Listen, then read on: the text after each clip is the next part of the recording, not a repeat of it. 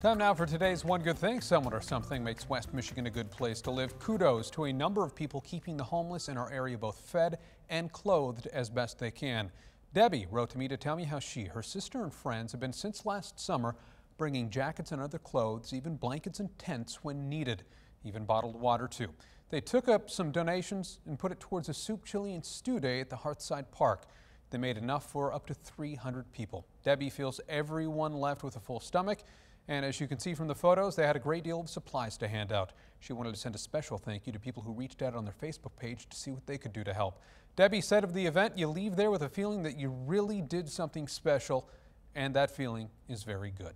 We agree. Everyone involved gets today's one good thing.